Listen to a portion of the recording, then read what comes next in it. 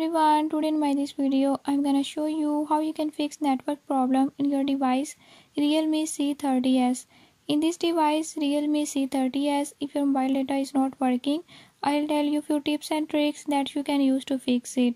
Before we start if you are new to my channel don't forget to subscribe and press bell icon. Watch complete video and learn how you can fix it. Let's